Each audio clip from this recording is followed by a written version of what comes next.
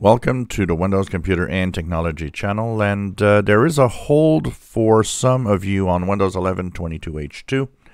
Uh, some of you that don't see it, uh, it could be because of the Windows Hello sign-in on Windows 11 22H2. Microsoft has acknowledged today that for some users uh, that move to 22H2, and apparently depends on the type of hardware that you have, when you, of course, try to sign in with your Windows Hello uh, sign in, what happens is that uh, this, of course, doesn't work both with a PIN and also with biometrics. So even if you try facial recognition, if you try with fingerprint, uh, and of course a PIN, it doesn't work.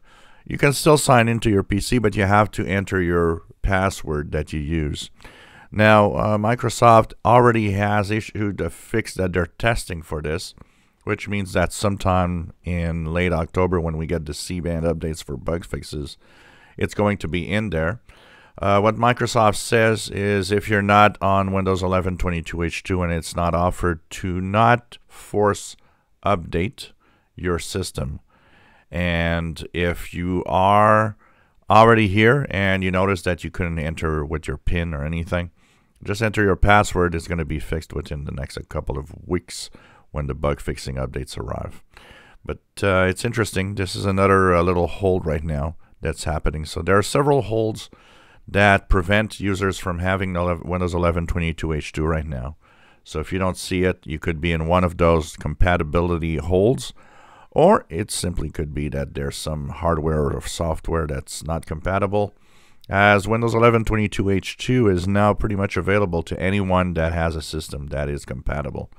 So uh, that means that if you have no hold, if nothing is there that uh, they know is wrong, you should see it. And if you see it, uh, it should technically be quite uh, inoffensive to move on to 22H2.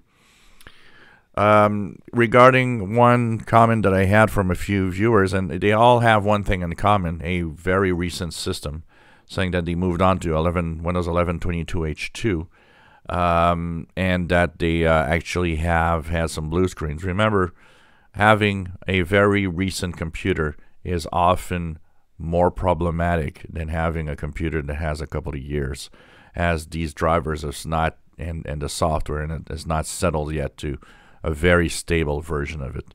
So um, you know, it, if if you have a very recent system, um, don't push or don't force upgrade your Windows 11 to 22H2, especially if you're not offered 22H2.